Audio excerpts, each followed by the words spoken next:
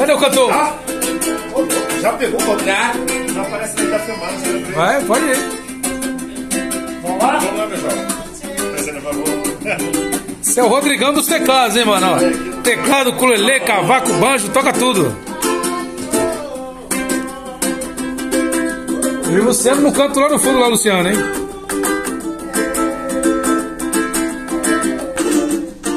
Olha aí. Beleza, beleza, Rodrigão. É isso aí, mano.